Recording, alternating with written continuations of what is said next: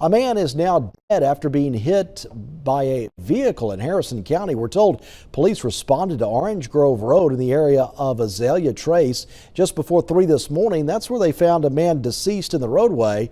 There were no vehicles on scene at the time of the call. If you have any information on who may have been driving the vehicle that fled, you can call Coast Crime Stoppers.